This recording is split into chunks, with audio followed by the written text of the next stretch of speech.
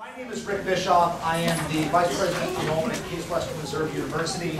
Uh, Case Western Reserve is the fourth stop on my admissions career thus far. I like to be a place a little while and get out of town before they figure out that I don't know what I'm doing. Uh, I, I started at my alma mater, Macalester College in St. Paul, Minnesota, very traditional small liberal arts college.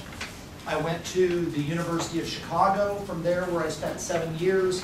Uh, University of Chicago is kind of a big liberal arts college in a kind of large research university setting.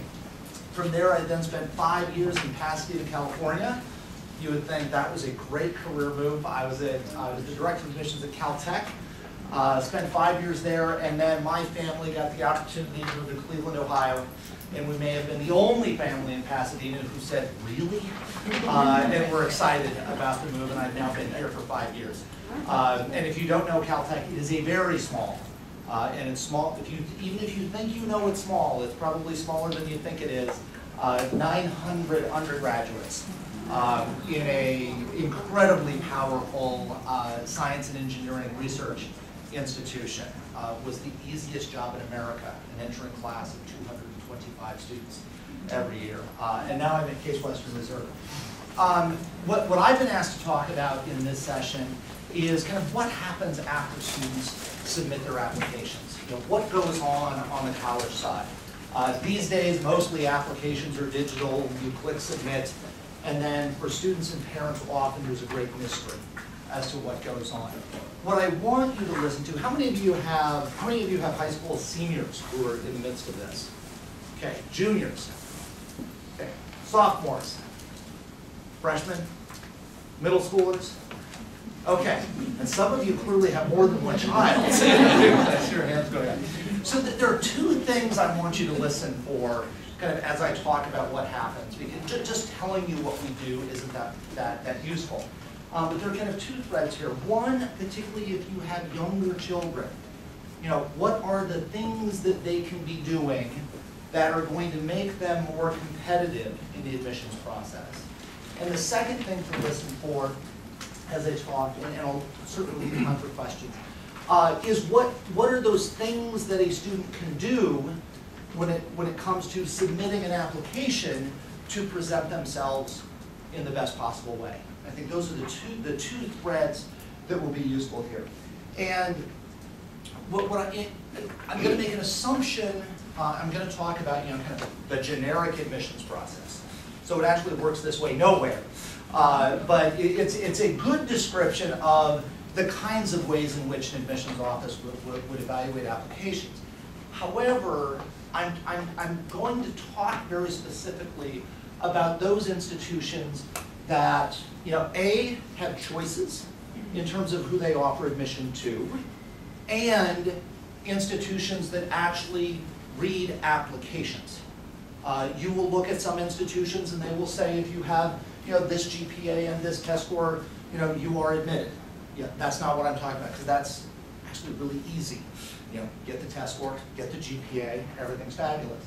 Uh, but in the world of what we call selective admissions, uh, we have more qualified applicants than we need to admit in order to enroll the size class that we want. And what that means is we get to make choices about the kinds of students, the kinds of class that enrolls. And we have, in my world, all kinds of demands on us. And that's kind of the first thing to think about is, you know, let me be very clear, this is not about fairness in terms of, you know, fairness to your sons and daughters. This is not about a reward for all of their hard work. Every admissions office in the country, it is about bringing in the class that that institution wants. And some things may seem more fair than others, but every person in my role starts with kind of the, the internal pressures of their own community and what it is that that campus wants. In my case, I have a business school, a nursing school, a college of arts and sciences, and an engineering school. If I enroll a class with zero nurses, the nursing dean, and she's not very big, but she's very tough, uh, will be in my office because her faculty will have no students to teach. So I've got to balance those kinds of things. Uh, many institutions have financial pressures.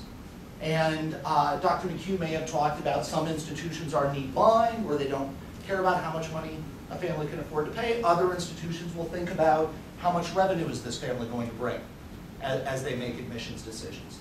We may have pressures in terms of you know, geographic composition. You know, do we want all of our students to be from Ohio? It's a less interesting place to our students. Or do we want students from all over the country, all around the world? Uh, so th those are just a handful of the kinds of things. You know, you need musicians. Oh, we have those little athletic programs. And even Division three institutions, you need athletes on campus. Winning is more fun than losing. Uh, and so you've got all of these pressures.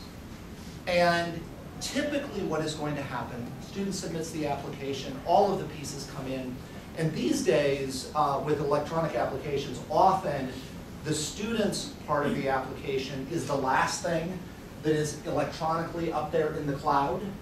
And so it's amazing because these days, student submits the application, very often everything is there already. And so we can move, move right on to evaluation. Virtually every admissions office is going to have some kind of evaluation rubric. And as you're out visiting colleges, you should ask that question.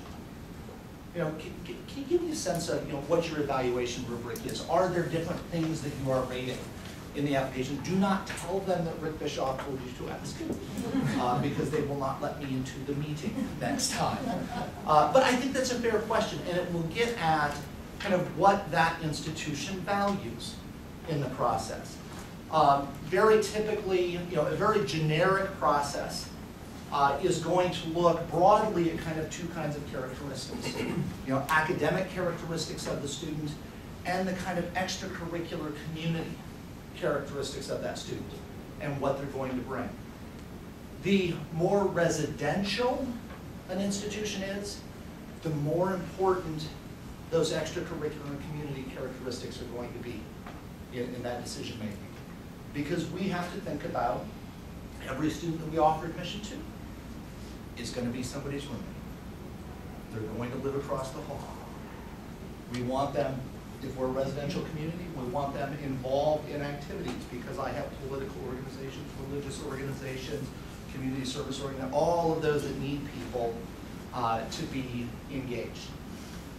We really do read the applications. And very typically, an application is going to be read at least twice. There, there might be some exceptions in, in admissions office, but as I talk to my colleagues and hear them describe their admissions process, typically an application is going to be, be read twice because uh, it's high stakes from the standpoint of students and parents. We understand that. And the thing that terrifies us most is that we make a mistake. And not that we admit somebody who we shouldn't have admitted, but that we don't admit somebody who should have been admitted. That's what keeps us up at night is that we miss those students. It is unusual in selective admissions offices for an application not to be read, for them to be, for there to be some kind of statistical cut. Would be, would be highly unusual that to be the case. And parents and students are all like, come on. You know, really, you know, below a certain test score, below a certain GPA? No. Uh, even when I was the director of admissions at Caltech, in that case, I read the very bottom of the applicant pool myself because I was terrified that we would miss. The faculty there would say, you know, we don't want to miss the next Richard Feynman, a very, very famous physicist uh, who's a Caltech faculty member. Um, so, you know, they're going to be read. Uh, we read everything. You know, we, we, we, we read what the student writes, we read their essay, we read the recommendations, uh, we're looking at transcripts, we're looking at extracurricular activities. And I think if parents were in the room, and if you could hear us talking about students and the review process, I think you'd be really surprised at the lack of superficiality in, the process. It's not that we're going through and counting, oh, this student is involved in you know, 12 extracurricular activities, you know, and 12 is better than six. That's not what we're doing we're really reading applications, look, looking at what the student tells us, looking at what recommendations are telling us about the kinds of things that students are involved in, and trying to understand, okay, who is this student? What is their life like? And then the very important question, and what are they going to bring here? And that's that part where I say, you know, this isn't a reward for all their hard work. You know, it's really about, and how does this translate into life in our community? What are they going to bring?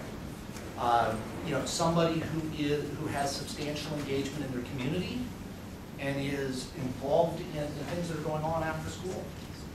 That student is going to be more appealing to us than the student who is home by three thirty playing video games every afternoon. Because they're gonna be more likely to come to our community and, and and become involved. Uh, I think you would be surprised at the depth of the conversation around academics in an application. Uh, we're not just looking at GPAs and test scores. Uh, test scores by themselves are absolutely useless. It's when you have test scores and you have a transcript and you can see the courses that a student has taken, you can see their pattern over time. I won't ask for a show of hands, but somebody in this room has a boy who in ninth grade, um, their achievement was less than they were capable of. Don't, don't raise your hand. Uh, you can't have this many people in a room without having that student. Uh, we understand that. We're not admitting ninth graders. Our que, our question isn't, oh gee, you know, let's line all the students up with the best GPAs and the best test scores and let's admit them. We're looking at students who are trying to say, okay, who's the student going to be in our classroom? And when we're reading recommendations, we're really reading recommendations and trying to understand who, not just, oh, this is a fine student. You know, they turn their homework in and they study for their test.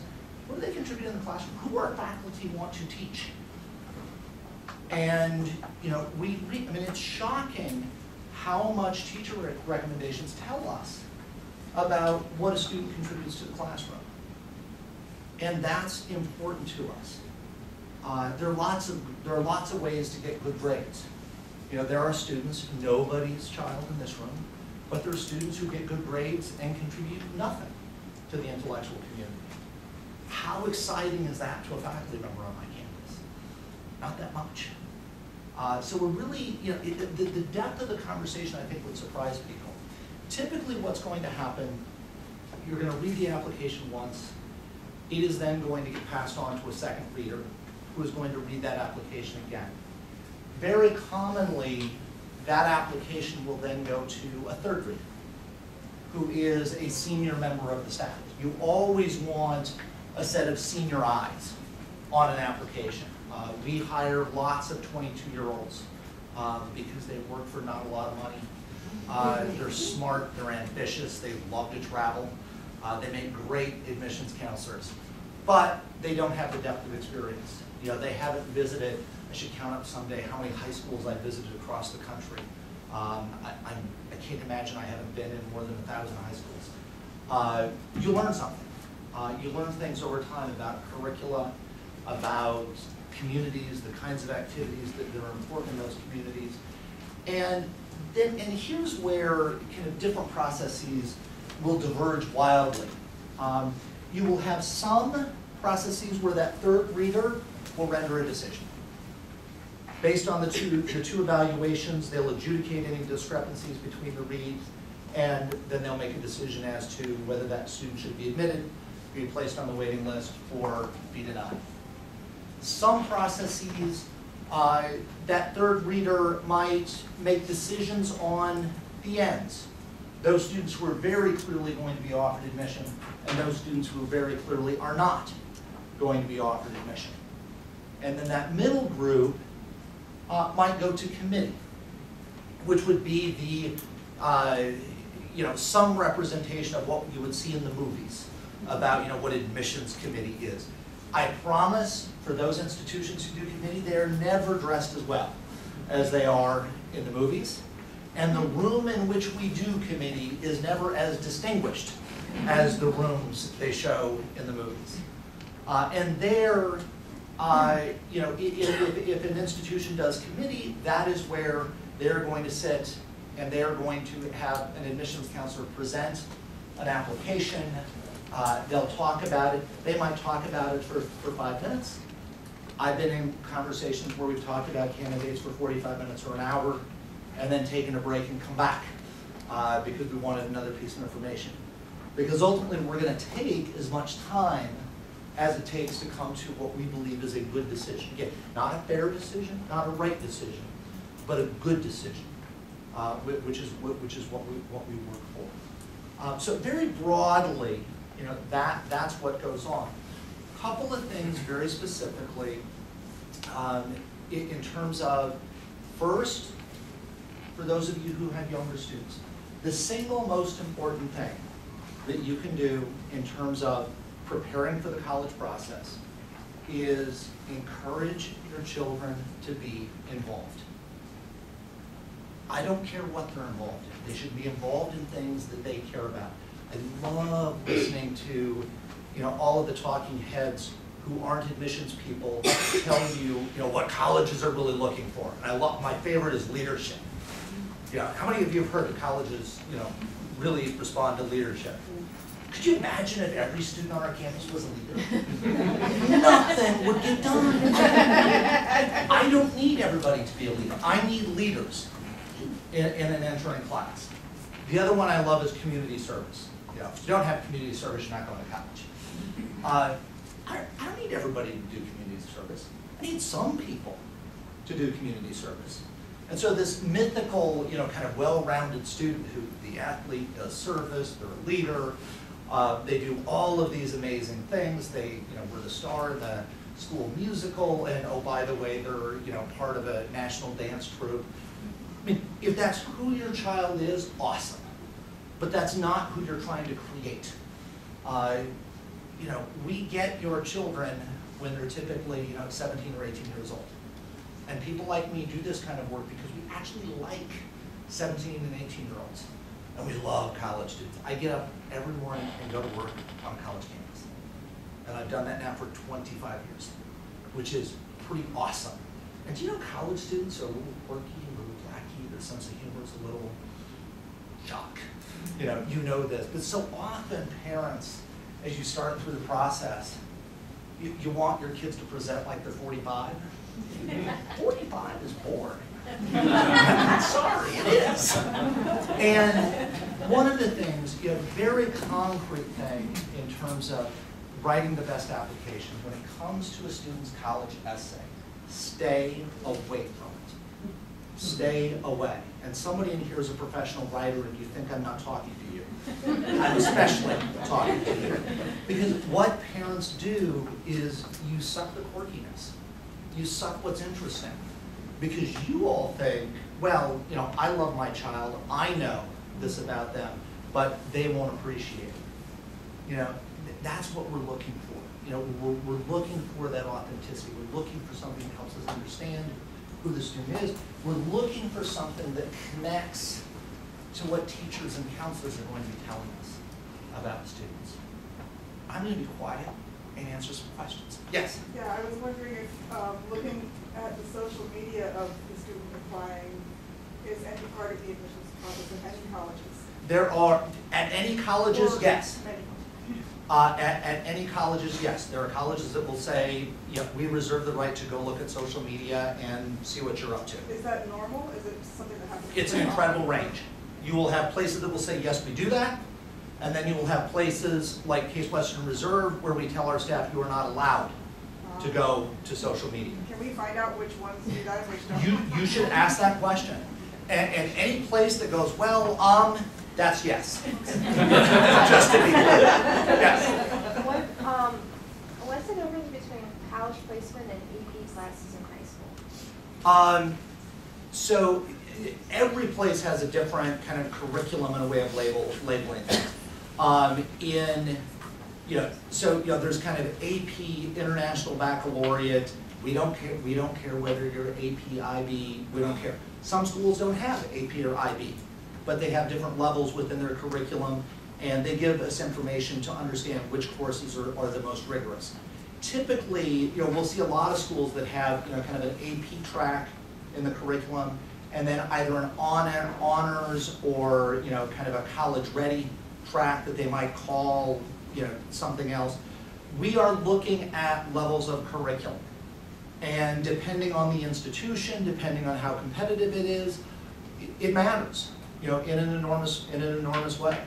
And they're going to look and, and, you know, at the very competitive places, they're looking, and if, and if a student is not taking, you know, a- as rigorous a curriculum as is reasonably possible in that school community, they're not gonna be competitive. Most places, you know, are gonna be more like, you know, Case Western Reserve, where, yeah, we wanna see that you're pushing yourself, but I actually prefer students who aren't doing everything. They tend to do the other stuff better. And, you know, we're looking to see, is this student prepared? Now, you know, you, you have a student who wants to do engineering, you know, and, you know, they're finishing in Algebra two. Uh, that doesn't align very well with the engineering curriculum at most places. You know, so we- we're, we- we're making those kinds of nuanced distinctions there. There was a hand, yes? Is Case a um, demonstrated interest university, and how can you tell which school? Well, um, oh wait, that means yes. Uh, uh, This year, for the first time, demonstrated interest mattered. Uh, You know, we, so, and, and the reason demonstrated inter- interest matters to schools like us is when I have lots of choices, I have lots of choices of very high ability, very engaged students. If I can choose the ones who I think know us well and are really paying attention to us, I think it's gonna help me build a better community. Ask the question. You know, when you're visiting colleges, ask the question. And again, if the answer is well, that means yes. Uh, you know, any hesitation from the admissions counselor, you know, yes, is what they mean by that, that answer. And I know Dr. McHugh talked about that a little bit. You need to visit campuses. You need to show up at information sessions that happen here in the Cleveland area. If you can do an interview with an alum, you need to do that. Uh, it makes a difference. How does that play out for such a high international intake? I mean, they can do demonstrated interest, that kind of thing. there is no student, well, I'm trying to think how to phrase this. You know, the admissions process for any given student, different things are going to be more important than others. And so, yes, if I have a, if I have a student, I, I visited a school in Flekkett, Norway. Anybody ever been to Flekkett? I do not expect those students to have visited. On the other hand, when I visited Flekkett, I interviewed students.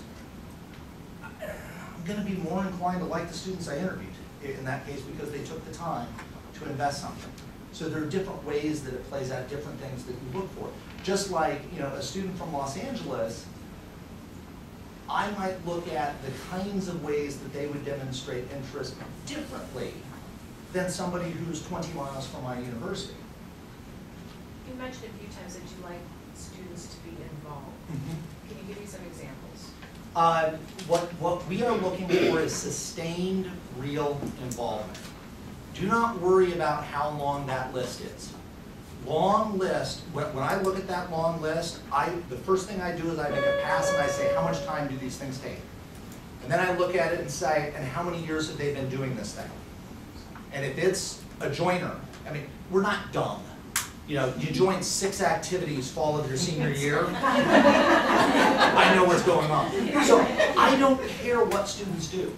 You know, if a student's an athlete, great. If they're a musician, terrific. Dancer, love dancers. Uh, community service, I, I don't care what they do. But do something, do something you care about. You know, and, and don't micromanage your kids' activity, particularly those of you with younger activity. But if you had a child, I have a twelve-year-old boy, so I'm, reliving seventh grade all over again. You know, coming home and being on the couch at three thirty in the afternoon and playing video games, no. You know, no. And what we say, we don't care what you do, but you're not doing that. What would you like to do? Uh, and then we support those things that he, that he likes. One more, and then I think that was our bell. Yes? I think like over the last fifteen years, the, the year-round clubs for, for athletes, they really, you know, they start them really young, and there's really no time to do anything. My kids are all like twenty hours a week in their sport, and so get involved in other things and they're interested in, they just don't have the They, time. they gotta have leadership, they gotta have service, they gotta be doing music. You know, you don't to go to college. No, th- and, and that's exactly the kind of thing that we're gonna.